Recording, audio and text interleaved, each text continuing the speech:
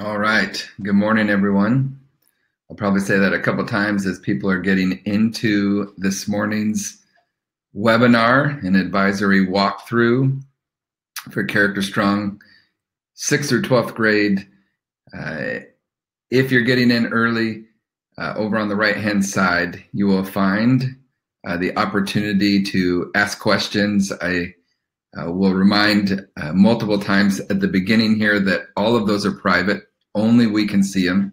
So ask whatever you need. Don't be scared to engage over in the uh, the chat area. Um, we're excited that you're joining us this morning. We're going to get going in just about 30 seconds. Uh, in fact, as we're just getting started, um, today's webinar is on our advisory curriculum. And uh, my name is John Norlin, one of the co-founders.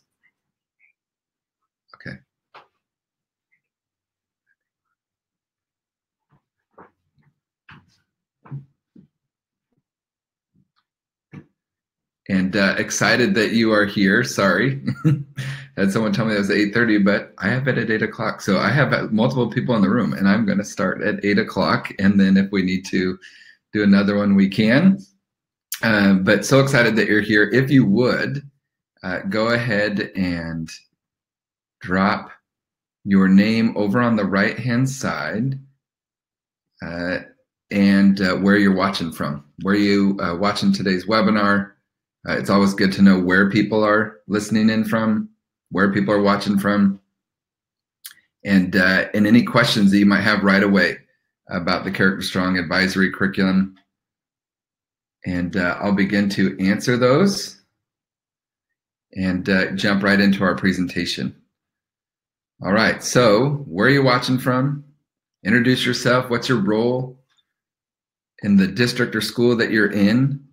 And uh, to get started, I'll do this beginning part really quickly, and then I'm going to uh, show a few lessons uh, that are on our website, answer any questions. We'll keep it tight within this uh, next 30 minutes, and uh, we'll go from there. So, John Norlin, one of the co founders of Character Strong, I was in the classroom for a decade at the high school level where I taught a full load of social emotional learning meets character development classes. And uh, I then moved to the district level where I was the program administrator for the whole child uh, and that was K through 12. How are we infusing this work uh, into the daily fabric? And so excited to share with you uh, today uh, things that uh, we have been doing, uh, ways that we've been supporting schools. here is our theory of change at Character Strong.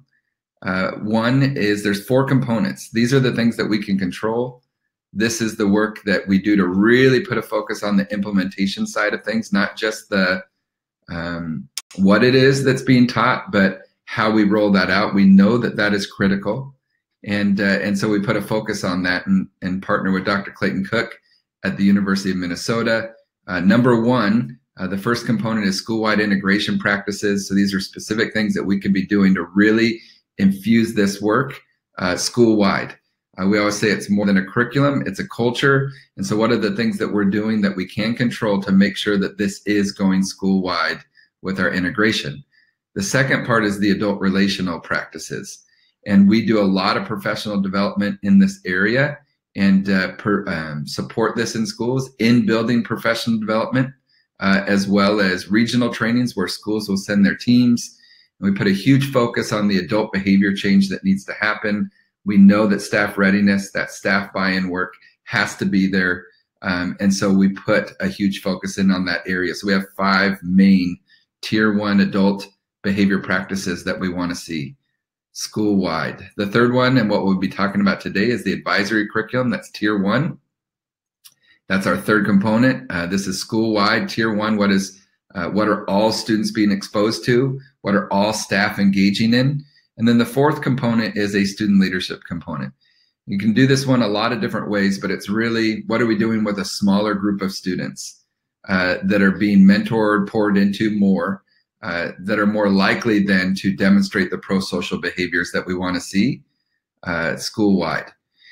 And so uh, to break it down, our Character Strong Advisory Curriculum, uh, here's what it is. 6th through 12th grade, it's vertically aligned, so it's not the same lessons. There are 35 lessons per grade level, uh, grades 6 through 8, and 25 lessons per grade level, 9 through 12. It's plug and play. Um, built by teachers for teachers. This was really important to us. And when we say plug and play, our goal is as long as staff has had uh, proper professional development, um, which we can provide and help schools with all the time, our goal is that they should be able to click into these lessons 30 seconds before and they should be able to teach those lessons. That's our goal that we're trying to get to. And so we have slide decks uh, for every one of those lessons in both English and in Spanish, video resources, uh, as well as we intentionally bring not just social emotional learning, but character development side by side um, with those um, uh, each of those lessons, and that's something that makes us unique. So let's look at it live. I'm going to do uh, one right here from 8 to 8.30, and then I'm going to do another one, I think it sounds like, from 8.30 uh, to 9. So if you're already on, uh, feel free to drop any of your questions over on that right-hand side in the chat. And, uh, and so here we are. This is our platform. I'm going to screen share so that you can see it. And I'm just going to uh, walk through a few of our lessons. I've intentionally uh, chosen a few to showcase for you uh, all staff in a building would get access to uh, the platform. And uh, when they come in here on the left-hand side, there's the advisory tab. And the first thing that happens when I click on it is there's an overview. So when I click on that overview tab and get into it, there's a welcome. Um, and one of the things it does is it gives suggestions of different ways that you can use the advisory curriculum.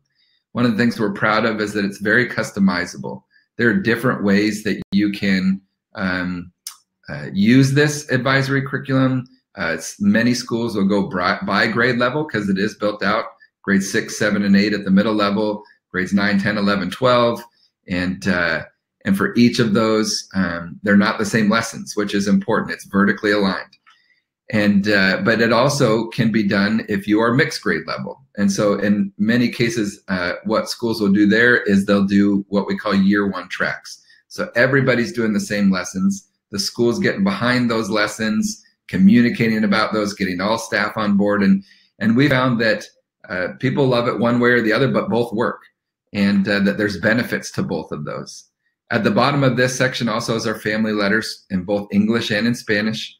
And so here's this kind of that kickoff where if your team or whoever's getting ready to implement it and lead this work, they uh, have this as a resource to uh, first dig into. I'm going to skip down to the third tab, which is implementation resources. And uh, we know that it's never going to work to just say, uh, here's a curriculum and good luck. So we know that we have to put a focus on the implementation side of things.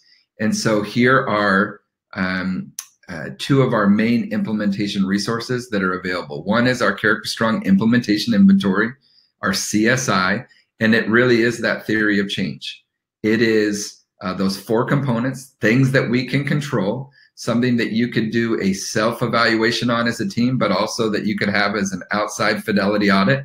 And uh, we've come in and done multiple of those fidelity audits with schools to help them to get feedback what's working, what's not working, so that they can action plan. And so this part's huge because it really uh, takes that theory of change and helps a school team and leadership say, here's what we can control to strengthen our tier one when it comes to rolling out character strong. And what I would say is this when a school's saying we do character strong, well, then they need to be doing all four of those components the school wide integration practices, the adult relational practice piece that's very specific, tier one curricula, as well as the student leadership aspect. If not, then you're doing a component of character strong. The second resource that's here is what we call our implementation leadership skill. And what we know, what we found, not only from experience, but really digging into this work, is that that building leader, the building principal, system principals, those that are leading this work, that obviously their influence, their intentionality or lack thereof really matters. And so, what are the leaders in the building doing to help successfully um, implement this? And so, the leadership scale is something that the building leaders can use uh, really in rolling out anything, um, but to really help with the successful implementation of Character Strong.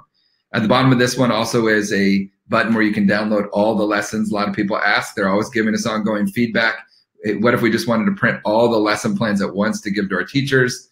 They're all there. uh, and a button now at the bottom of the implementation resources. So I've identified just a few lessons that I want to show, and please drop in any questions that you might have. Let us know where you're watching from. Um, but I'm going to drop first into the middle school.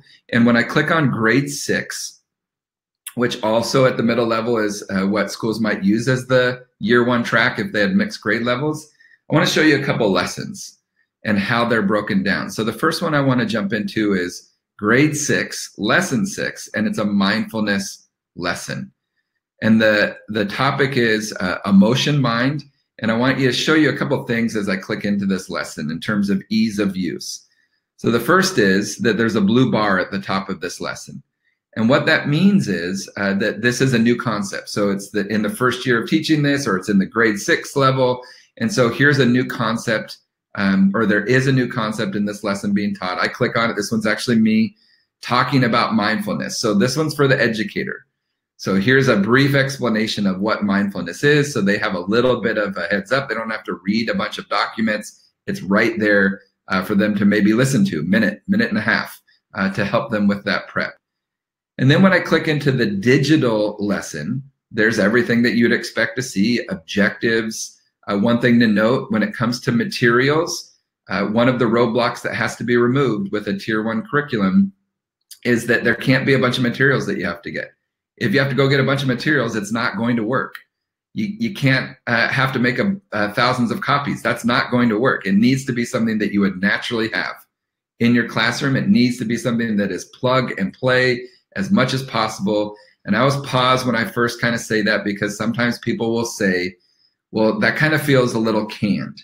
And what I always say to that is this you can't have it both ways, right? We don't want it canned, yet we don't have the time ability to put together a vertically aligned curriculum, sixth or eighth grade or nine through 12.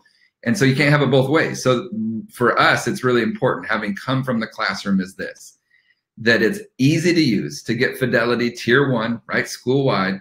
But the more that educators uh, dig into this, the more they become familiar with it, the more that they will make it their own. So it needs to be something that they can immediately uh, click into and uh, teach uh, that doesn't require a lot of prep. And so the first thing I notice here under materials is there are packets, so I can download the lesson plan in black and white or in color so that the teacher has the more detailed instructions. But then there's slide decks. And although the lesson is digitally here, I can go down and look and read what it is. If there's an image, by the way, even in the digital lesson, if I click on it, fills the screen. But most teachers do not use this. What they use is the actual slide deck, which is in English and in Spanish. And so when I click into this slide deck and go full screen, there it is for me. And I can click right through that lesson. Mindfulness, emotion, mind. Here are the objectives. So the teacher can click right through that. And this, if the if you're new to Character Strong, is maybe an introduction for you into something that's very intentional at the secondary level to get more engagement, to get more buy-in, to create more relevance. And it's something we call our character dare process. So moving out of elementary school, where a lot of times with social emotional learning, you might do role playing, that does not work at the middle and high school level. We know that. I know that from being at the district level and being told over and over again that our middle schoolers are done with it when it comes to SEL. And in digging in, one of those things was it can't look elementary. It needs to move away from role playing. What is something that's more relevant? And so our character process, I believe, is that uh, I've seen this for 10 years in the classroom myself. I did this with high school students, which can be the most difficult group to get traction with. And what I found is it completely works, that they do want this. And so the character dare process is like this. This is last week's character dare that was introduced. It's a challenge. And it happens to be that this one's about kindness. It might be on another character trait like commitment or selflessness or even forgiveness. But this one is titled, How Can I Help? And the challenge was this Offer to help a family member with one task today. A different option is to do an activity one of your family members usually does instead of them doing it. This could be taking out the trash or sweeping up. You could also reach out to your neighbors, coaches, or teachers to offer help. So there's lots of different ways that this one can be done. But here was last week's Character Dare challenge that we sent you with. And then it moves into the Truth or Dare process. And what we found is this the beauty of the truth or dare process one it's supposed to be somewhat fun And if someone even has like um, a comfort level with this, we're like, I don't know about the truth or dare. Great, look at the prompts because the prompts work. Because the prompts do not require that every student in your classroom has done the actual character dare. If you do require that, or if you grade it, it will work against you. But what the truth or dare process actually does is it gives everybody a voice, whether they did the character dare or not. Because for some, the character dare process is just facing the character dare. It's considering it. It's why am I not ready? And so in that case, if we're having a class conversation, which is how the lesson works, the first five to seven minutes, teachers get used to this process. They know it's coming. It's just different character dares that we're talking about. What will happen is we come in, first thing I'll do is I'll say, all right, here was last week's character dare. Last week's character dare was, how can I help? Offer to help a family member with one task today. And then I'll say, all right, turn and talk, truth or dare.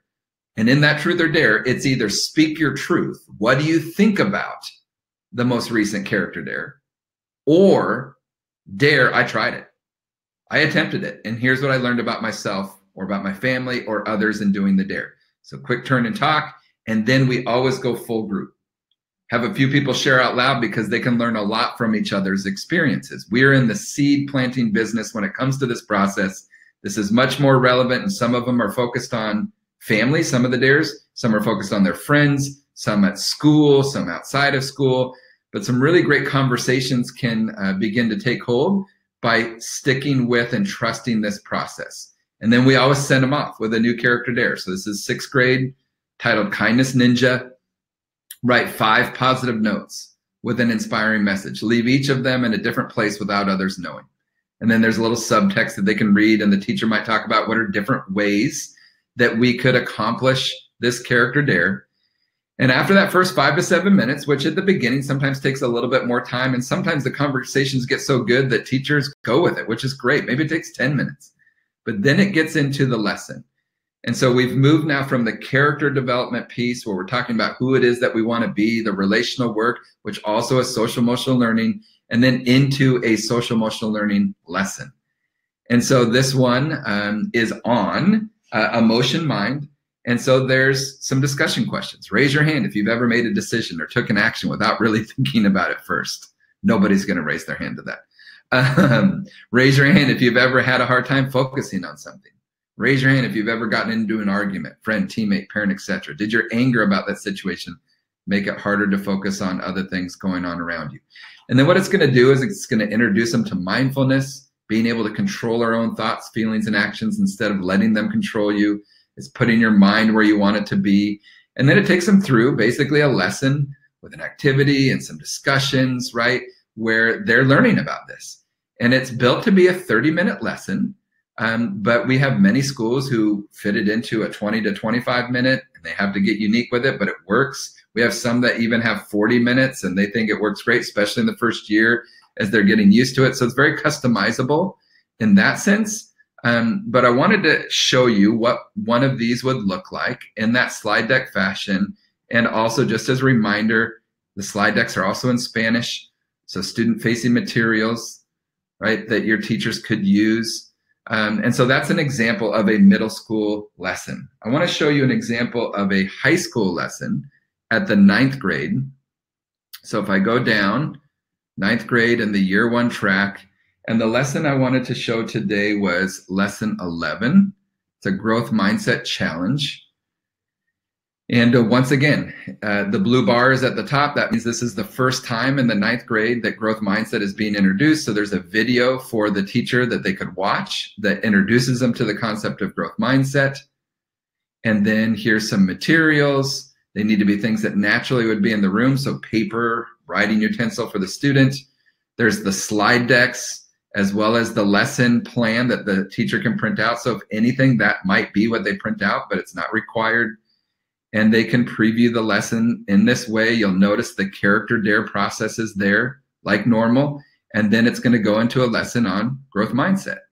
And so what I love about this lesson is it has a video on growth mindset with some discussion that they can have. And then it goes into a fun activity called paper football. And basically, they're going to end up making paper footballs, not like flicking them, but it's one where you're sliding it across the desk. And so it's an interactive activity that get students eventually talking about growth mindset. And the more that we practice something, that we're capable. And even notice on the digital lesson, there's this uh, camera icon. And if there's an activity, we've tried to film as many of these activities so it would show the teacher how to actually set it up. So instead of once again reading a bunch of resources or trying to figure out sometimes the instructions, here's an actual video so they can see it. And many teachers in the first year will even show that video and say, here's what we're trying to do. And we're trying to remove as many of those obstacles as we can um, to help with that. So a couple different lessons. Slide decks, built to be plug and play as much as possible by teachers for teachers, vertically aligned sixth through 12th grade, uh, and built to be more of a once a week type of setting where there's 30 minute lessons. Um, the only other thing that I would put a focus on and then answer any questions here is this. Everybody at the secondary level who has access to our advisory curriculum also has access to something called the Character Strong Gym. And in the Character Strong Gym, it's basically a library of resources and people love this. These are uh, in, in, this Character Strong Gym currently. It's something that we're always adding things to. There's an entire section on growth mindset uh, in academics. Um, let's see. I'm looking at a note here. I don't know what you're referencing. We can't see any questions on the back end. trying to think what that might be. Oh, don't worry. I see Brian in there. It said 8:30 Pacific. I'm going to do another one in just about eight minutes. So feel free to jump right back on. Um, and so if you came in late and you're uh, just getting ready, I will do another one of these right at 8:30. We can call this the warm up um, on that. Uh, but I also wanted to uh, finish on the Character Strong Gym. That there is an entire set of growth mindset and academics resources. There's restorative practices a set of restorative practices that uh, you could infuse into the daily fabric of your school from community building circles, peer mediation, re-entry circle, restorative circle, teacher-student reconciliation. There's also um, our uh, character dare sets for the adults. So there's an entire year's worth of admin character dares, which are really cool. So not just for the students to use, but what are some proactive relational strategies that the administrators could use?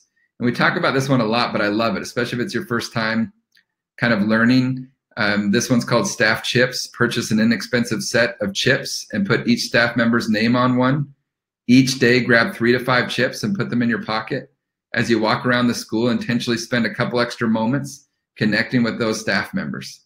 I love this idea. Um, says pop into the classroom or stick around to ask them an extra question to get to know them or ask them what they need right now to feel supported. When done, put those chips in another bin until you've worked your way through all the chips. So just a very practical strategy for admin. There's an entire year's worth of that. There's also an entire year's worth of family character dares that someone can use um, and can send out to their families once a week to make connections to what you're doing at the school. And then there's two years worth of staff character dares, things that you could be pushing out to staff once a week to give them ideas on how to relationally connect better with students, with each other, with families.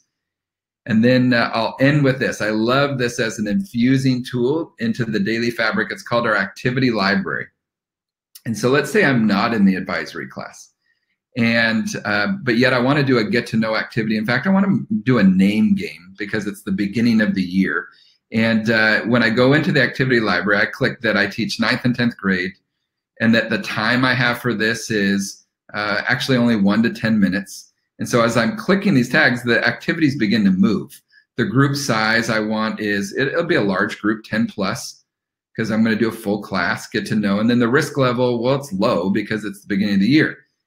And as I click these, the activities continue to move. And then I go to tags, and uh, there's everything from debrief to energizer to get to know. But I'm going to click name games. And once I click name games for a full class, here are six different activities that I could do in my English class or my math class to help learn names. People love this uh, resource because it's all tagged, different things you can do from get to know activities uh, to name games to icebreakers. And so that is also built out for you. So it looks like some thought that this was going to be um, starting at the bottom of the hour. So I just warmed up for about 25 minutes and I'm going to be starting another one of these in about five minutes. So feel free uh, to uh, drop any questions that you have. I'm going to queue up the slide deck.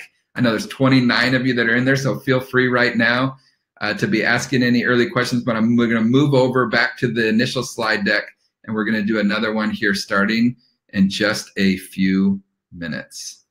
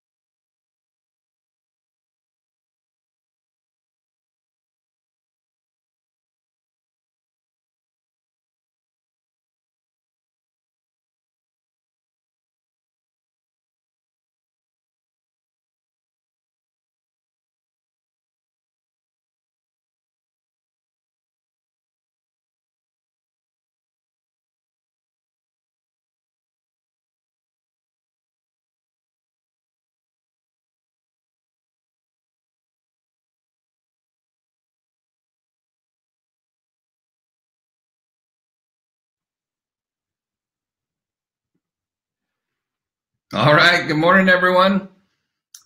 For those that were here about 10, 15 minutes ago and got the warm up webinar, you got to love it when doing live webinars and the different timings from Pacific to Central to Eastern time. But we are so excited that you're here. There is a good number of people that are on the webinar now, which means that it was supposed to start at the bottom of the hour, which is great.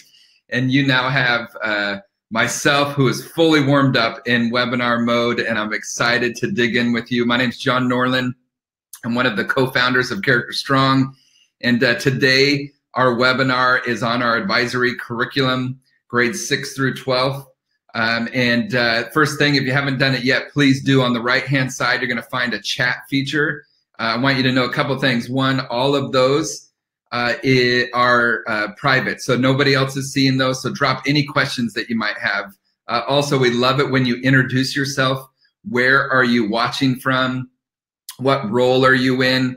Uh, it feels a little bit more personable instead of just talking to a screen. So I always love that.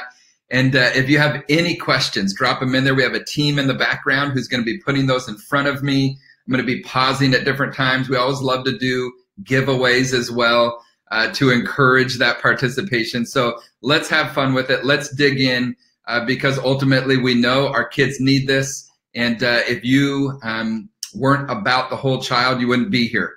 We are about uh, bringing that social emotional piece. Uh, for us, it's bringing social emotional learning and character development together. Uh, and to weave that into the daily fabric of our school. And we know it can't ever just be about a curricula, that we need to look at it from a holistic approach. And so I'm going to dig in, not waste any time. I've really uh, chosen some intentional lessons to showcase. I'll do be doing a screen share. Um, Jennifer, I see you there. Lake Oswego, thanks for joining in. Uh, Michelle Wood uh, down in Oregon as well. Amy from Kansas, thanks for uh, joining us. So excited.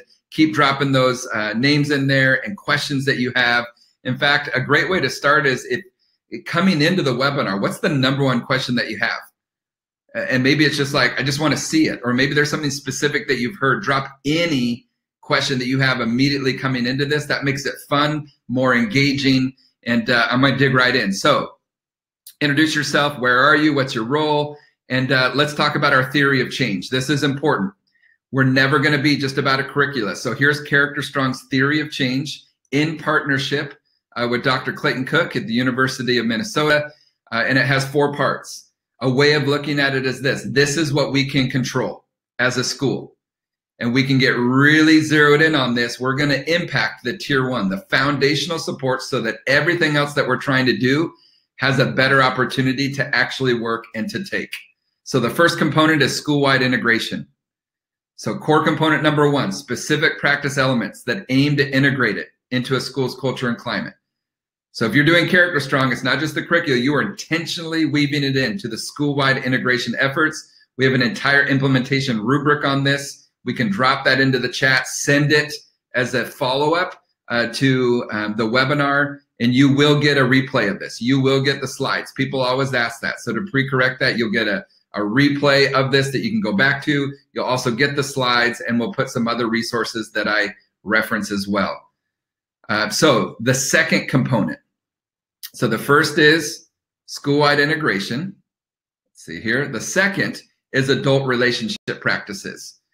And so um, we know that the key to this working is adult behavior change. And so the adult readiness work is critical. And I think um, there's two things that we do really, really well at Character Strong. There's a lot of things we do well, but two things I think that are right in the forefront. Number one is we provide solid relevant, engaging, easy to use, low burden, high impact type of resources for uh, educators, for schools to use to impact kids. I think probably the most important work we're doing right now is the adult relational work, the adult behavior change that is needed, the in quote staff buy-in work. Um, it's not only hitting the why, but the how.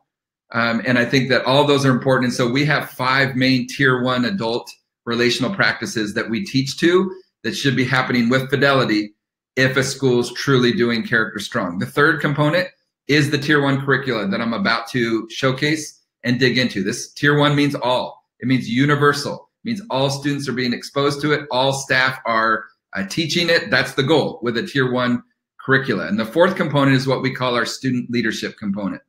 This one can be done a lot of different ways, but the idea of it is this. What are we doing with a smaller group of students? Who are being more mentored, more poured into. Those students ideally are representative of your student population. Uh, that uh, that they're then more likely to demonstrate the pro-social behaviors that we want to see school-wide. So how do we increase the student buy-in piece? Well, we can intentionally work with peers um, and students, peers of those students to be demonstrating those pro-social behaviors. So they need more training, more mentoring. And so th that's our theory of change, those four components.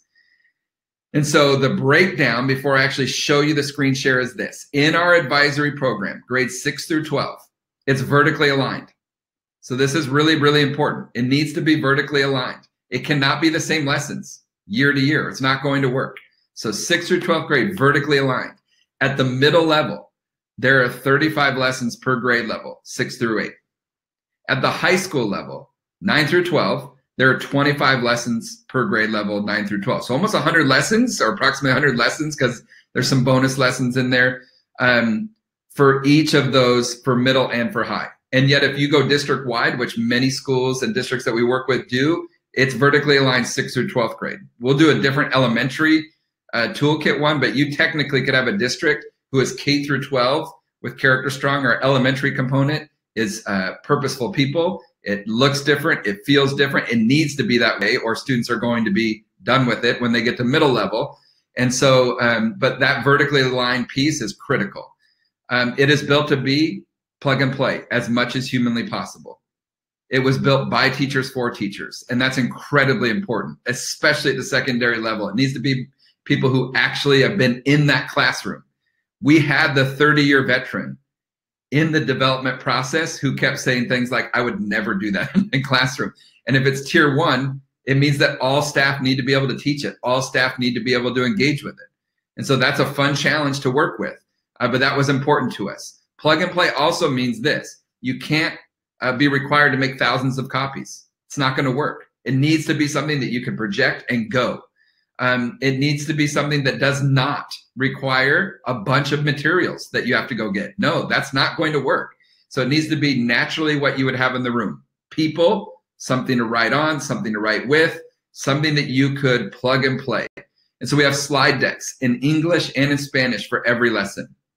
Now, I always pause at this moment because I've been there. I was at the high school level for a decade teaching a full load of social emotional learning meets character development classes, five classes a day, and then was at the district level as the program administrator for the whole child.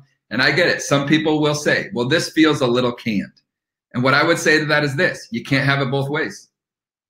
We don't want it to be canned, but yet we don't have the time, energy, ability to put all the prep in to develop something that's vertically aligned.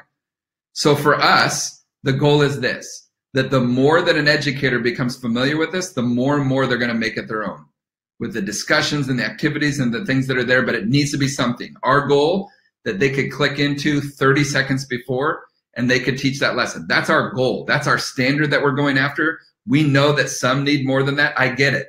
And there are things that our teams could be doing to help with the implementation side of things, which we are all in on, helping schools continuing to provide more and more implementation resources, but it needs to be as plug and play as possible. There are video resources, and then I'll show you how we intentionally bring character development uh, right alongside social emotional learning. All of our lessons are connected to the CASEL 5 uh, core competencies of social, social emotional learning, but we intentionally bring that character piece with it for multiple reasons that are really, really important. So that's kind of the breakdown.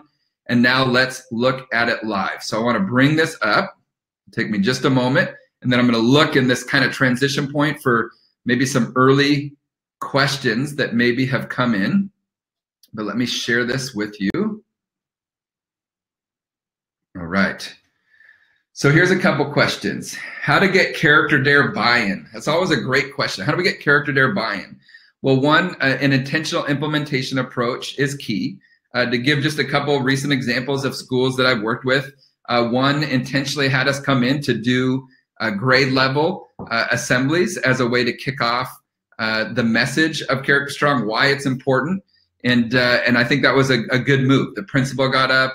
Um, I was there at this one and shared some different pieces around uh, the intentionality behind it. And many schools would do that on their own, but they'll do grade level type meetings to kick it off. The number one way to get buy-in with the character dare process, though, is this. It, it, comes back to the law of the lid, and it comes back to the adult readiness piece. Uh, the law of the lid says this: Don't ever expect students to bring more to the room than what you're bringing as the teacher. Which means the number one way to get student buy-in is to have staff buy-in. It's the way that they deliver the character dare process. It's the way that they facilitate that process. Um, it's them sharing their own struggles with like facing the week's character dare as the educator. Um, it also is trusting the process. That there is zero research to back up that something's going to take in a week, that something's even going to take in a year, that you have to trust the process. You also have to understand that kids don't benefit from something that they don't receive. So are they actually receiving it before we know whether there's buy-in or not? So all those different pieces are there, but the key to student buy-in is staff buy-in trusting that process. In fact, in our uh, our year two um, staff professional development, when we come into a school, we actually really start to dig into uh, deeper facilitation tips um, that educators could use to be more effective in the character dare process.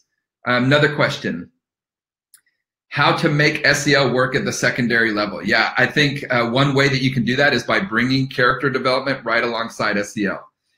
And what I mean by that is this you'll see the character dares. In fact, I'll show you that right now in a second. And uh, one of the reasons for the character dare process was to make it more engaging for a secondary student. There's a lot of social emotional learning offerings at the elementary level. There's some at the middle. There's almost none at the high school level. And there's a reason for that. Uh, but one of the things when I was at the district level that we found is we were using the same uh, company for our SEL curricula at the elementary and at the middle level. And at the elementary level, it was going excellent. People were loving it. Um, but at the middle level, um, I kept hearing this: our kids are done with it. And I kept remember asking, "What does that mean? They're done with it?" Well, they see it as elementary. And I'm like, "Well, what do you mean? Tell me more." Well, it looks the same. It feels the same. What looks the same? What feels the same? And they kept drilling down to the number one thing was um, things like role playing just didn't work. I'm like, that makes a lot of sense. Try doing role playing with a middle school, high school student. And so for us, the character dare process um, really is a, a, process that brings social emotional learning type challenges with character development into a classroom setting, but it's not artificial. It's very authentic. It meets students right where they're at. It's not grading them on whether they do it or not, and it gives them a voice. So I'm going to show you this, and then I'll come back to some of the questions. Here is the digital platform. Welcome to Character Strong. There's a video here for you. And on the left-hand side, when I click advisory, I have full access, obviously, as a co-founder to all of the curricula. If you were a middle school, you would probably just be seeing grades six through eight. But the first thing that I notice is the overview tab. And I click on the overview tab and there's a welcome to Character Strong, gives a little background, instructions on how to use. And then it talks about like year one tracks. And some schools, if they're maybe mixed grade level or maybe even by preference, they want they are going to choose where every student is going to do the same lessons. Um, and so all grade levels are engaged in the same uh, lessons each week, and they brand that and they communicate around that. It's the same character dares. And so that's what they're doing. Whereas other uh, schools will drop students right into their grade level. So it's differentiated um, and, and they're staying with that vertically aligned curricula. So there's different ways that you can do that. And then at the bottom, here are some family letters, both in English and Spanish that you can send out. And then there's these implementation resources before I jump into an actual lesson. And the first one is our theory of change document. And it's our character strong implementation inventory. And this inventory is what we can control. It's those four components. Uh, when you click into that, it's going to have uh, something that you can rate like a self-evaluation um, as a, a, school. It's also something that you can have an outside fidelity audit. We go in and, and do these fidelity audits for schools where we go in and we interview a certain number of students and staff and your team, and we're looking for things, and then we provide um, feedback so that your teams, which are critical for implementation success, can really action plan around that. In fact, the schools that are all in will do a couple different fidelity audits, one in the fall, like, you know, 10 weeks into the school year, and then one in the spring. And then they'll action plan around that. Uh, the second document that's here is the implementation leadership scale. And this is for your building leaders. We know that the building leaders are critical to the success of uh, Character Strong as a program. And yet, many times, it's the biggest roadblock. Uh, and yet, administrators, just like teachers, have a lot on their plates. So, we need to have something that really helps with what are the behaviors from the building leaders that need to be there to not just successfully implement Character Strong, but anything, any initiative, any program in your school. And this is a validated tool it's called the Implementation Leadership Scale, and it's there. And then at the bottom, here's a couple tabs where you can just download all the lessons if you want to do that work for your teachers, the printable lessons uh, that they can use while um, doing the slide decks for each lesson. So I'm going to showcase uh, a lesson and then I'm going to take some more questions. So at the middle level, I'm going to click into advisory grade six, which is also the year one track for the middle level. And uh, I'm going to click into grade six, lesson six. And this is a mindfulness lesson, emotion mind. And as I click into that lesson, I'm to uh, show you a couple things. One, there's a blue bar at the top. And the blue bar at the top uh, is telling this teacher uh, who has clicked into it or the staff that this is a new concept, which means this is the first time that mindfulness has been brought in. And so a teacher could go and click on that and this one happens to be me and it's just an explanation of what mindfulness is. Now some of your staff are going to i get it. They already know it but some don't. This is tier one which means all. So there's a little video instead of them needing to read a five page document on mindfulness here's a video giving an overview of what mindfulness is. There's objectives Materials, remember, materials should be what you naturally have in the room. And then here's four buttons. And these buttons are this. You can download and print the lesson packet, the lesson plan in black and white, in color. Um, and then there's the slide decks. I'm going to come back to the slide decks in just a moment, but they're in English and in Spanish because they're student facing. So both options are there. But the teacher could also preview the lesson. So here it is also digitally, and I'm going to talk about the character dare process. And even when I uh, digitally go through this, if I want to like click on an image, it fills the screen. So even without getting into the slide decks, it's interactive in that way. It shows the questions, instructions. Here's another image. If I wanted to click on it, I could. And it kind of takes you through the lesson. Now, most staff, though, are going to engage in this lesson by clicking on the slide deck. And when I go into the slide deck, here it is mindfulness, emotion, mind. Here's the objectives. And then it starts the character dare process. So I'm going to briefly talk about this, then answer questions because this is critical for that student buy-in question that was asked. Um, one, the first two lessons for every grade level are community building lessons. So it's get to know type of lessons, relational activities, uh, because we need to be building that community, that positive culture and climate in our classrooms, which ultimately impacts our school climate and culture. Uh, but after those first two lessons, the character dare process begins. So one, staff learn, staff know that every lesson, the first five to seven minutes, the same process is going to happen. It's consistent. There's not going to be any surprises. The only difference is it's different character dares that we're talking about each week. And having done this process for a decade at the high school level, I know the power of this process. I always will tell you, trust this process. And so here's how it works. If I'm the educator coming in, I'll say, all right, class, here was last week's character dare.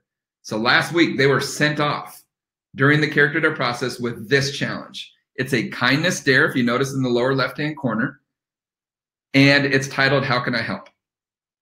Offer to help a family member with one task today or at some point this week, right? If you're implementing this more in a once a week setting. And then there's a little explanation that we could talk about. A different option is to do an activity one of your family members usually does instead of them doing it. This could be taking out the trash or sweeping up. You could also reach out to your neighbors, coaches, or teachers to offer your help. And so if here was last week's character dare, here's the power of the process truth or dare. And it's interesting, we just did a fidelity audit in a, in a bigger district that is implementing this work, and we learned two things. In fact, today, uh, Krista on our team put out a blog on her experience with those fidelity audits, not saying what the district was or whatever else, but just what, what did she learn? And here are two things that she learned. One, across the board, and this is middle school and high school, students are telling us this is important. We should be having these conversations. We need to be doing this. But right behind it, You've got staff that are saying, well, I didn't know if my students would be into it. But once again, students can't benefit from something that they don't receive. Trust the process. So the fun nature of truth or dare is this truth or dare. It's a play on that idea. But even if you're not comfortable with truth or dare, look at the actual prompts because this is the power. The power is this it does not require you to have done the dare, it meets you right where you're at. It's either speak your truth what do you think about the character dare? Why do you like it or not like it? Think it's easy or not easy? What would happen if more people did do that? Um, or why are you afraid to do it? Could be any true statement. Does not require you to do it, but speak your truth. Or dare, I did it. Reflect on your experience with this last week's character dare. What did you learn about yourself? What did you learn about others? And I always remember one of my favorite reflections from a high school junior, 17 year old boy around doing something like this was he had done something, like done a chore without being asked. And he came back and his reflection was, Dare, I did it, but I still got in trouble. And my job as the teacher was to just facilitate, to ask good questions. It's not to have all the answers. And I'm like, well, one, thanks for sharing. That's kind of like, why do you think you got in trouble?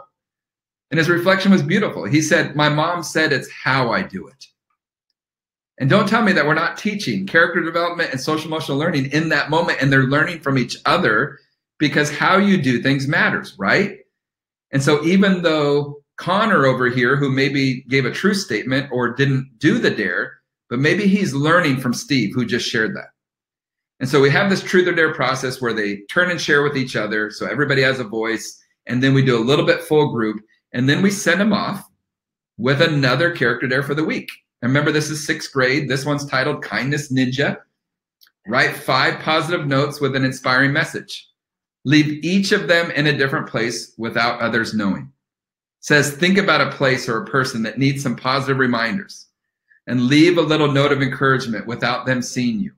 Finding these little notes can turn someone's day around. If you can't think of an inspiring message, search online for inspirational quotes and pick some you like. I have seen this character dare on social media across the country. And I love it when people are like, How did you know that I needed this? Or I found this in my classroom, and teachers that are being impacted, not just students. And so you get them talking, you give them the opportunity. And what we always say is this it was a great reflection from an educator at one of our regional trainings.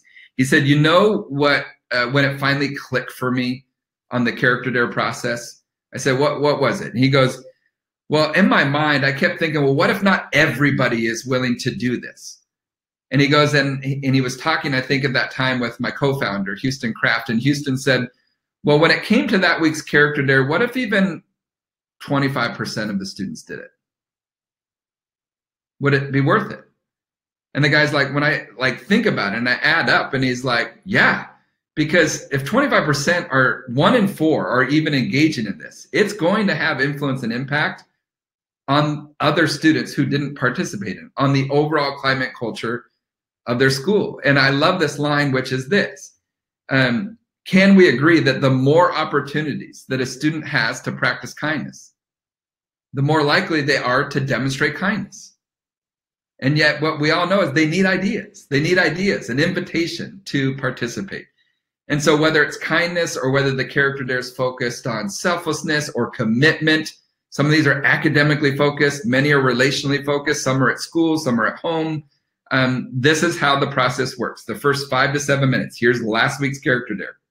And then we have the process of truth or dare. Let's discuss and we move now away from role playing. This is just engaging conversation that meets them right where they're at. Here's the next week's character dare that we're sending you off with.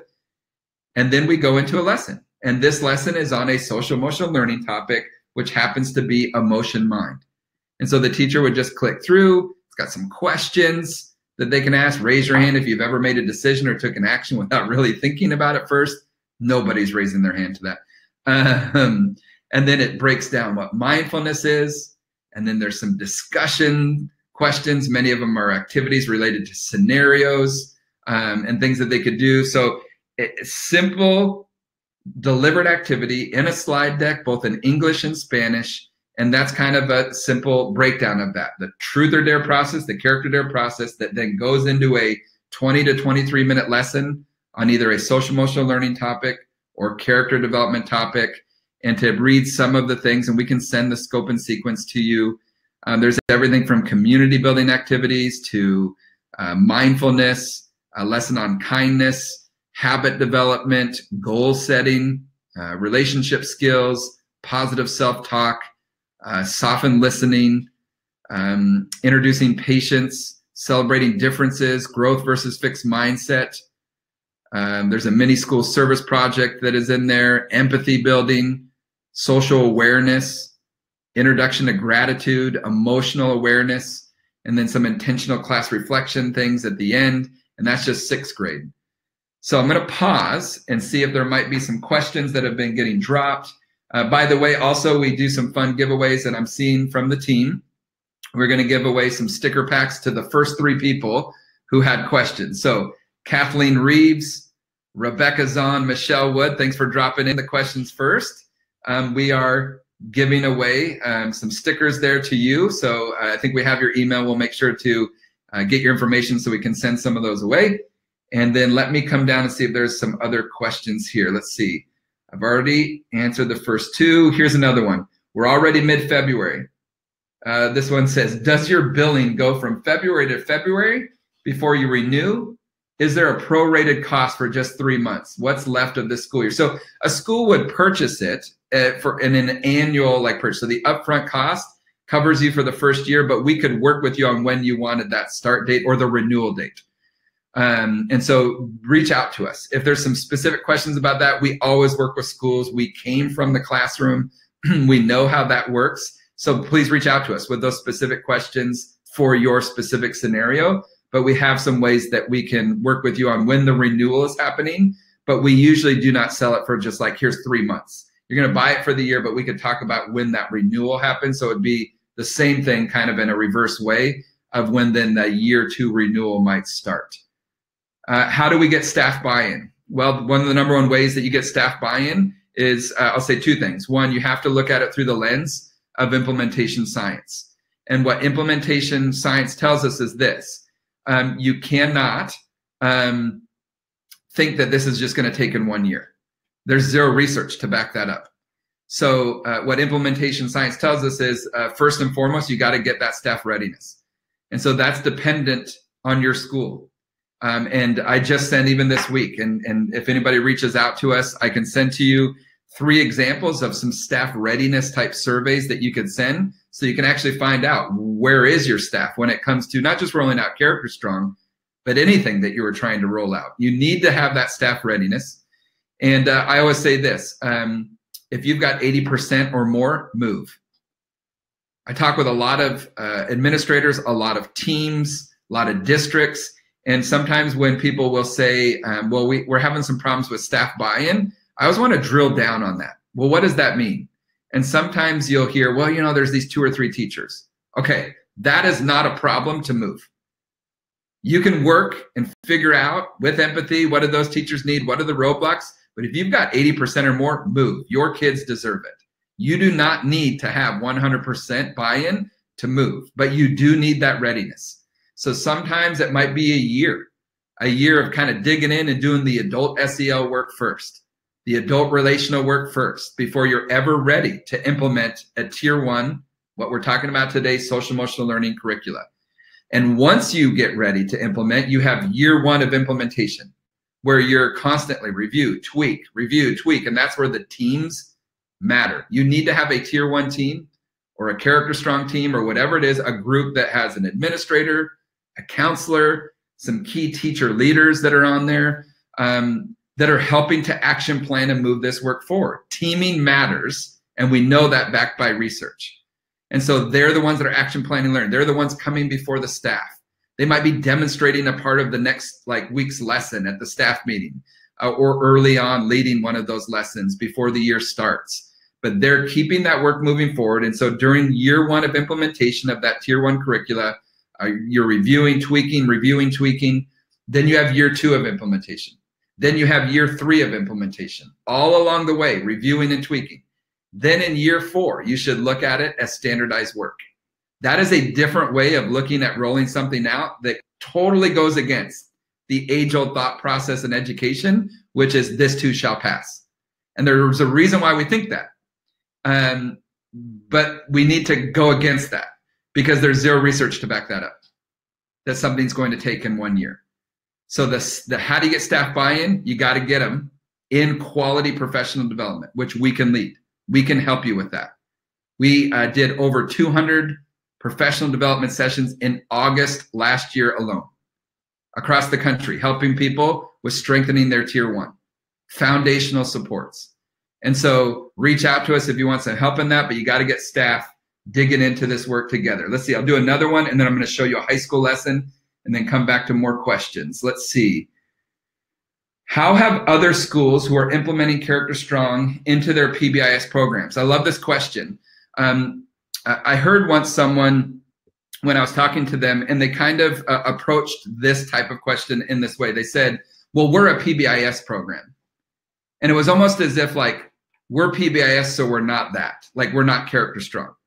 And having come from that MTSS world, uh, the multi-tiered system of support for behavior, that was my work at the district level. My response to that person was this, that's great that you do PBIS. I hope that's not it. Because that's only one part of a strong tier one. So how does it work within? Well, one, you need to clearly show um, your staff how this work braids into your tier one supports. The key pieces of PBIS can really strengthen a school's tier one. Where do we fit into that? We fit into that tier one level as well in these areas. School wide implementation supports that are in there that are part of that tier one focus, adult relational practices. So there are many tools that an educator needs to be successful, just like a surgeon, right? Who's doing their work and at times they need this tool or this tool to do what they need. We know that as educators, depending on the situation, we need lots of tools. But what we do is we really teach the five low burden, high impact tier one adult behaviors that should be happening school wide that would really ramp up, strengthen uh, the overall climate culture and relational supports in our building. And so we teach to that. That is a part of the tier one. Then we have the SEL curricula. So PBIS doesn't have that, the, the SEL curricula, tier one. And then we have that student leadership component that might fit a little bit more into a tier two type of setting, but it really is tier one because of the impact of what it's reaching out to. Um, and so that is a way that it would connect to the PBIS, but we need to show that to staff. How does it braid in? That's the work of the team. If not, they're going to see it as one more thing. So we need to give them the why. We need to show them how it braids into the work. And we need to, in many cases, ease into that work, especially if you got other things going on. I was with a district recently that was bringing in PLCs. And so to bring too much onto the system, to overload it, is not going to work. So you could have an excellent program that is good for kids, but if you roll it out wrong, there's no coming back from that, even though it's good for kids. So the implementation piece really, really matters. I'm going to show you a, a high school lesson a little bit quicker, and then I'm going to dig into more questions here. At the high school level, grade nine, I'm going to come up and I'm going to go to, let's see, uh, grade nine, lesson 11 which is a growth mindset challenge.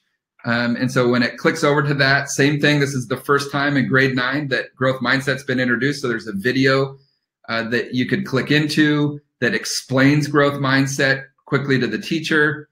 There's objectives, there's materials, include some videos. Remember, the materials need to be something that um, is right there in the room that could be projected, right, or done. You don't have to go get materials and uh, someone could preview this lesson digitally, um, but also um, the slide deck is there, right, in English and in Spanish. And because this one does have an actual activity, like an experiential learning activity, there is a, a camera icon. So instead of it just being written out for the teacher to figure out, it also is here visually. And we're continuing to add more and more of these because this is really helpful to make it easy to use, if a teacher's like, okay, what is this saying? Many will actually click into the activity setup so students can actually see the activity in action. And that can really uh, help support the activity happening and happening sooner in a classroom. So they could show that video. This one's pretty interactive uh, in regards to their learning about growth versus fixed mindset. They do a paper football activity, not the one that you flick it in the air, but that you're sliding it across the desk and trying to get it to hang off the corner. I've seen this one on social media as well across the country, but a pretty cool activity that's interactive that also includes the character dare process. Um, and so in that character dare process, remember that it starts, even though it's a growth mindset lesson, we start on the character development side. This one's a compliment creation. Send a message of gratitude to someone you admire for their character. And this one's kind of a mad lib, fill in the blank Many will even text this if you don't have texting or or um, phones allowed in your school. It can be written out and delivered. So there's always different ways that you could do this. They have the truth or dare conversation about that last week's dare. Sometimes you'll have reflections like this. Man, I sent this to someone. I thought it was going to be kind of fun. And they responded with this. How, how did you know that I needed that? And some really interesting conversations can come from uh, this type of a character dare challenge. The one that they're sent off with for this week is thank your teachers. At the end of each class today, tell each of your teachers one specific thing about their class that you enjoyed. Now, notice, of course, we want our students uh, learning to be more thankful. It doesn't say just say thank you. It really drills it down. Tell each of your teachers one specific thing about their class that you enjoyed. I think that's really critical. That's so important. And you think about not just what we're teaching students there, but the impact that this potentially has on your staff. If you had students who are intentionally going up and, and thanking, um, and I've had this one, we used to do this one at the high school level, and every time there was a reflection that was Yeah, at the beginning of the week, I was really the only one that was doing it, but I noticed that during the week, more students started to do it, and they weren't even in our class. Because at that time, uh, it wasn't even a school wide curriculum. We were doing it in a specific kind of SEL character uh, leadership class that all of our ninth and 10th graders were engaged in. It was really cool to hear them talk about the influence that happened from doing this intentional act. And so then in the slide deck, the video clips are there that can be shown. There's a partner activity that they get into, but it's growth versus fixed mindset. Paper football activity even shows how to set that up. Um, and then they uh, participate in the activity, they debrief that activity, and that's an example of one of our high school lessons. All right, I'm going to jump over, see if there's some more questions here. There's lots of questions coming in. This is exciting. Okay, and maybe the team can help me by highlighting out the ones that I've already answered. I'm just trying to find where I was at. Let's see. Are lessons continuously added? It says, when we get through a year, do we just start over from the beginning? And is that effective? Well, no. I mean, this is vertically aligned. So you should have, if at the middle level, you should have three years worth of lessons that you could have students where in the first year, maybe everybody does the same, and then they drop into their grade level. So it's differentiated. At the high school level, I do know some because they have mixed advisory grade levels where they really just look at it as we've got 100 lessons that are vertically aligned and we can use those in uh, whatever kind of scope and sequence over four years that we want to use so that it's not the same lessons each year.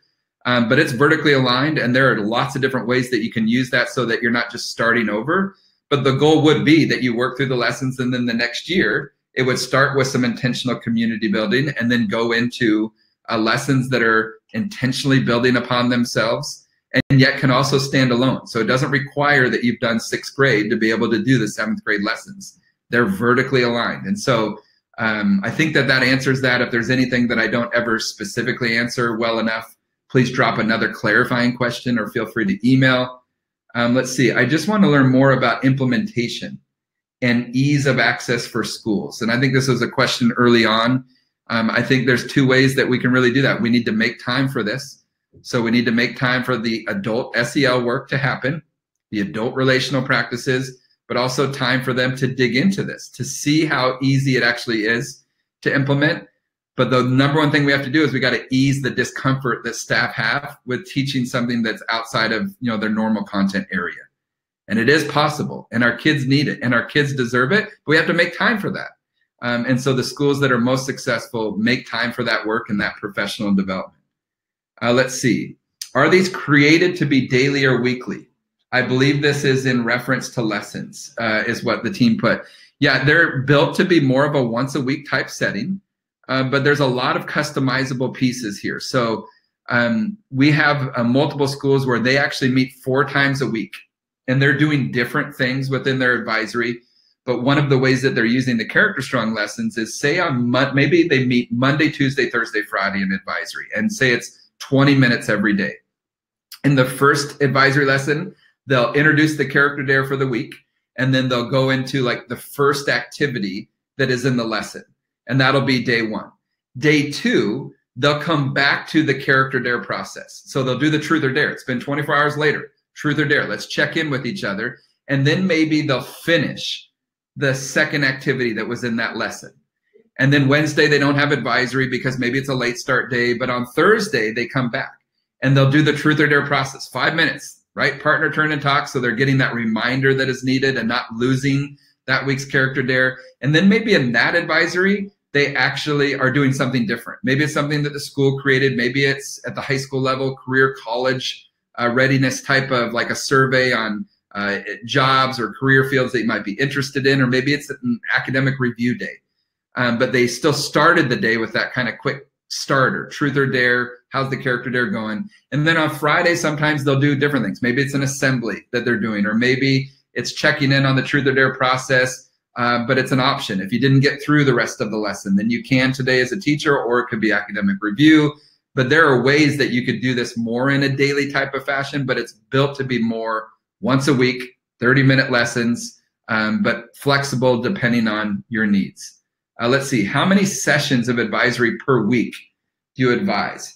You know, I think this is built, um, this is really school choice. I think it matters what you're doing in there. You know, a, a true three legged stool of a true advisory program would be this one leg would be career college readiness. What are we doing around that? The second leg would be around academic review. What are we doing to build that into the school day? But the third is more of that life readiness or the social emotional learning side. And so I do know schools that have a successful model where they have more than one kind of advisory or homeroom or whatever you're calling it type of period that's happening during the week. Um, a lot of times, though, for Character Strong, it is more of like we would fit into more of that once a week type of setting. Um, but you might do other things with those other time slots that you're doing because for many of you, you do already have other things that you do, you're doing that you've created.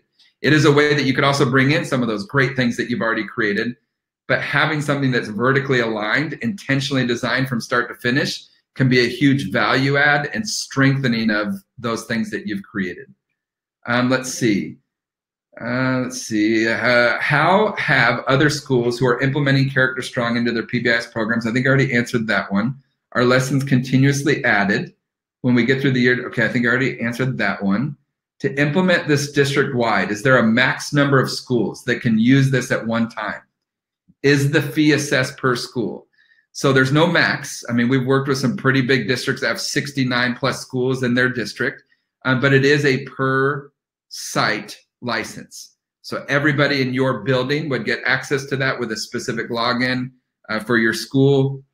Um, but we do have lots of district uh, level pricing options where if multiple schools are buying, uh, there are discounts that go along with that. So please do reach out. But uh, you could have all schools engaged with this at the same time, but it would be a per site license. Uh, so reach out with specific questions that you might have. Uh, let's see.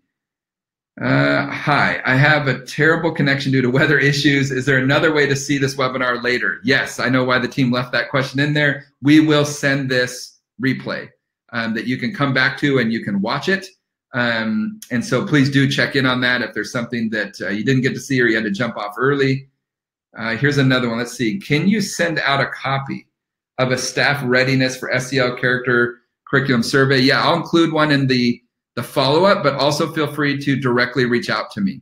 So my email is john, J O H N, at characterstrong.com. And I would love to send you, even today, the, the three examples, the three surveys that you could use, uh, that you could tweak to meet your needs, but uh, are tools where you could really um, kind of find out where the readiness level is of your staff. Uh, let's see. Hey, John, I agree with you 100% on the PBIS and character stance. However, there is a belief among, in quote, character ed people that PBIS is not character building. They believe PBIS is all about a carrot placed in front of a kid to get them to behave versus being internal. I've always disagreed and was pleased to see a strong PBIS presence in the CS, CS materials. Prompt is all about PBIS. Yeah, there's there's so many good things about PBIS. Here's one way. I, I think there is a place where external rewards do play a role. I think where many of us realize is that it can't be the thing by itself. And so recently on our uh, podcast, it was actually on Monday, Houston and I, as co founders, were celebrating the 100th episode of our podcast. Um, and if you haven't got on and listened to that, you should. Um, comes out two times a week. It's shorter in nature. Um, we call it kind of the character strong commute, cut the fluff, get right to the stuff. And we have people from all over the country that are uh, uh, chiming in, that are in the work, that are sharing things that are working.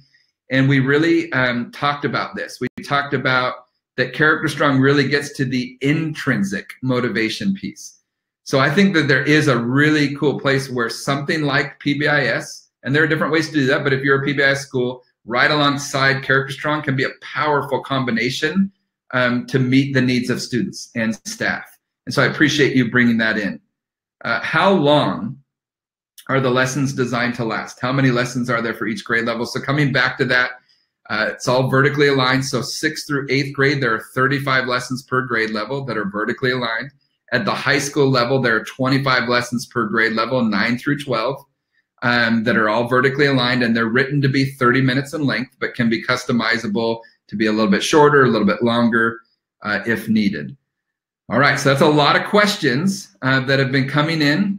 Uh, I'm going to ask the team to put any others that you might have in there. I'm looking here. I want to do another giveaway.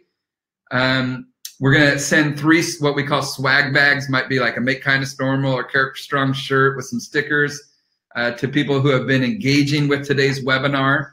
And I appreciate you doing this. So, Ali uh, Futhi, apologize if I mispronounce your name, Tammy Fast, uh, Callie, Sharon, uh, the three of you are going to be sending a swag bag too. We have your email, um, but the team might be reaching out to get information from you that are needed. But really appreciate you taking the time uh, to be with us today. We're not done yet, so ask any other questions you might have. I'm going to show one other really cool thing that a school or district that is using Character Strong at the secondary level gets access to. And so, not just the lessons that are vertically aligned and built to be plug and play, but they also get something uh, called the Character Strong Gym. And the Character Strong Gym really is a library of resources. And uh, we're always adding uh, in fact, just uh, to make sure that I hit this point, we're always updating and adding uh, to our entire platform. So once again, coming from the classroom, coming from the work, if Character Strong's advisory curriculum looks the same year to year, it's going to be done within two or three years. It's going to be sitting on the digital shelf. And so we're always updating. We're, we're getting feedback on lessons. And the ones that are getting rated the lowest in terms of how engaging or the quality, we are changing those lessons in regards to strengthening them. If it's really bad, moving them out, moving something else in. We know which lessons are getting the highest rating and making sure that we're keeping those fresh. Uh, we're adding different relevant video clips at times. We are always doing different things to freshen, to make new this curricula, adding other resources because we know that is needed for success. And when a school uh, begins with Character Strong, each year there's an annual renewal fee. I think it's like $499. We try to keep that as low as possible. Um, and they get uh, continued access to that online platform, but also any and all updates that we make. And uh, this last year alone, we did an entire equity audit on our curricula, and there wasn't a lesson that wasn't touched in terms of looking at the language that is used, the examples, so that it's accessible and relevant to all students. We also added the English and Spanish slide decks. So in the past, there were schools that were just using the digital lesson and clicking on an image or clicking on the video, but now there are slide decks. They automatically get all those updates that are made. And I think that's really important to note. They also get any and all updates that we make to the Character Strong Gym. And so the Character Strong Gym, when I look at it right now, there's an entire section on growth mindset and academics. So it's totally by choice, but here's a fostering a growth mindset in the classroom and academic approach. So how do we bring growth mindset into all of our grading practices? Well, here's a whole toolkit on ways that you could do that um, there is an entire set of restorative practices that a school could use if you wanted to bring in community building circles. And some of you might already be deep in this work, which is great. But here is a simple what is it? The purpose of it? Why do it? Tips for implementation, right? What ages is it for? Uh, equity principles. So there's this resource, and here's proof, right, that backs it up. But if you want to bring in community building circles, we've got that in our Character Strong gym for you. And then there's these really cool resources here that are, are, are adult character dares. So there's an entire year's work worth of admin character dares. You know, attitude reflects leadership. The law of the lid. It's not just don't ever expect students to bring more to the room than what you're bringing as the teacher. It also goes to the leaders of the building. Don't ever expect teachers to bring more to the day than what we're bringing as the building leaders. And so here is weekly kind of character dares specific for an administrator.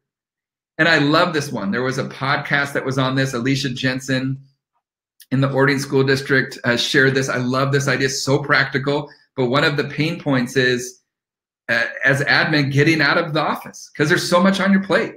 So here's a really practical strategy called staff chips. Purchase an inexpensive set of chips and put each staff member's name on one. Each day, grab three to five chips and put them in your pocket. As you walk around the school, intentionally spend a couple extra moments connecting with those staff members. Pop into their classroom, stick around to ask them an extra question and get to know them, or ask them what they need right now to feel supported. When done, put those chips in another bin until you've worked your way through all the chips. So practical. What a great idea. And even if you still have two or three chips in your pocket that you didn't get to, you put them back in that bin of not done and you're gradually working your way through your staff. So there's a bunch of those that are in there as ideas. There's also an entire year's worth of family character dares, things that you could send home even once a week to show a connection to what you're doing at school. Many of these are very relevant, practical ideas that a family could do. I love the family bucket list, right? Which is sit together as a family, see if you can brainstorm a list of 25 things that you want to do together this year. Remember, those things do not require money. Um, things that you could do together, just ideas that they can consider. And then there's two years worth of staff character dares. And these are powerful. The counselors or the administrators could be sending out to the staff once a week these staff character dares. We know many um, schools and staff, they meet on Monday mornings and they kind of share the week's character dare in different ways that they're going to do it. In fact, I love this one ET phone home. A principal actually dressed up as ET when on a Monday morning sharing this character dare for the week. But I love it. Take your class roster and highlight three to five names of students you feel could use some unconditional love and support early on in the year or semester. Pick up the phone and call home, either leaving a positive message or telling the parent or guardian how excited you are to have their student in your class and a reason why. Same thing as the student dare. What if 25% of your staff actually took this dare? I wonder what would happen to the overall climate culture of your school, the lives of your students who will never forget that phone call, the parents who won't forget it, because many times the parents, the only communication they have with school is either none or it's not good. So I love these practical ideas that we could be sending out, and that is in the Character Strong Gym. And there's one final thing I want to show you because there's a lot in here. Uh, but here's an activity library, and then I'll end with questions and giveaways. But say that I'm an English teacher at the high school level, and it's not the advisory lesson of the week, but it's the beginning of the year, and I understand that relationships do matter, that building an intentional climate culture in my classroom has an impact on the overall performance of my students. And I'm like, but I don't have the tools. I don't have the tools. Like I hear about these like get to know you activities or even a name type of activity where we're, we're learning each other's names, but I just don't have the tools. They didn't teach me that in my college prep classes. And so you go into here and here's the activity library. And first tags are by grade level. So I click here and I'm like, well, my students are going to be ninth and 10th grade. And so I click that. And the time that I have for this activity, you know, I got a lot of things I got to get to um, one to 10 minutes. And you'll notice that the activities start to move. And the group size is, well, I want it to, it's a full class. So I'm going to click large group 10 plus, And the activities are moving on the right hand side. And the risk level here is low because we're starting the year off. I want it to be low risk. Um, let me click that again. And then the tags are this um, debrief, energizer, get to know, icebreaker, name games. So you know what? I want it to be a get to know activity. And I click that, and all of a sudden, two, four, six, seven activities come up that I could choose from, that I could do in my English classroom. That isn't the advisory lessons, but here are some get to know things. And when I click on this, maybe it's reception line, I click on view activity, and it's a very simple materials, none. Here are the instructions. Here's an optional activity you can do, and here's some debrief questions. Incredibly powerful, easy to implement, right there for your staff to use to infuse into the daily fabric of your schools. All right, any final questions? I'm going to come back to the slide presentation uh, that I had and answer any final questions that you might um, uh, still be lingering. Uh, and also want to click to this next one. We do have 2020 educator trainings. There might be one near you that you could bring your administrator, your uh, teacher leaders, your counselor to, and you can go there, characterstrong.com. I'm sure the team can also drop that link into the chat for everyone uh, to see, but we'd love to have you. It's a great thing either to learn about Character Strong or to really start digging into that theory of change. And uh, those trainings are trainings. It's not a sales pitch. It is a training to dig deep into this work. And even if you're doing something else, that theory of change, school-wide integration practices can be with anything that you're doing. The adult relational practices work within to anything that you're doing. The tier one curricula could be how are we getting fidelity with teaching this in a tier one type of fashion, whatever it is that we're teaching. And then on that student leadership side of things, there are a lot of different ways to do that. But what are we doing with a smaller group of students that we're pouring into even more? more time, more energy that are representative of your student population and are more likely to demonstrate those pro-social behaviors that we want to see school-wide. So I'm about to give some training registrations away, seeing if there's any other questions. Let's see here. Mm, I don't think I'm missing. Let's see. What do the restorative practices look like at the high school level? Uh, well, you'll see. I mean, the, the high school practice or the restorative practices that are there, every one of them could be used and infused into a high school classroom. They're very practical. They could be class to class or it could be a school wide approach. Um, if you're wanting to look at those more, I'd love to send you a couple. So reach out to us, email us, uh, info at characterstrong.com, and we'll send you a sample of those so that you can see it. Uh, but they're built to be something in that library that anybody could implement. There's some construction starting next door, so it's good that we're close to the end. Um, let's see. We have mixed grade level advisories, and the older kids are feeling like the track one lessons are not advanced enough. Any suggestions? Yeah, learn from that. Uh, one, expect it. And that's a, a great tip for anybody implementing. Your oldest students, especially in year one, you need to do some different things for them. And so one of the things you could do is move them to the older lessons because they're going to be leaving, the older kids. Uh, you could be doing some other things with them that you maybe create as well. So make it known that they are doing different things than the younger students. Be intentional in that. Um, but I would work in some different lessons then, uh, the ones that you're doing with the younger students to show them that it's differentiated. Another way that you can do it is get some of your older students going into the younger classrooms and co-teaching those lessons with, with teachers. Have them help. Get a bigger group that is um, really uh, supporting the work because people support what they help to create and students being a part of that process of making that happen can be a cool way to get buy-in with a certain group of your older students but i would recommend bringing uh, some of the older lessons in and or other things that you do um, that get them engaged with something that is different and that they know it's different uh, and i can share some more of those if you have specific questions uh, don't hesitate to reach out uh, let's see. I just want to say that I attended the training in October in Portland. It was awesome. You changed my mind about the program. And I love that. And I would encourage anybody to come. And if we can do something to help you get to one of our regional trainings, please do uh, let us know and reach out. Um, as I give away some free training registrations, we just hit 100 uh, episodes on our Character Strong podcast. I think we're coming up on 100,000 unique downloads and listens. If you're not on there yet, you can literally just text CS Podcast to that number, 33777. And it's really easy to subscribe to that. Uh, we'd love to have you listening in from time to time. Um, and uh, that is a way that you can do that. Here are some registration giveaways. I hope that this was valuable for you and that your questions were answered. Uh, if you have a team that's meeting, and you want a digital walkthrough, don't hesitate to reach out. In fact, uh, I can probably do this as well. If you're on the actual webinar right now, let me go over to the chat. I'm just going to drop into everybody right now. Here is an actual calendar link that you can use to set up a call right now on a schedule, uh, a time that works for you. It's an easy way to do that, to ask questions about the advisory curriculum.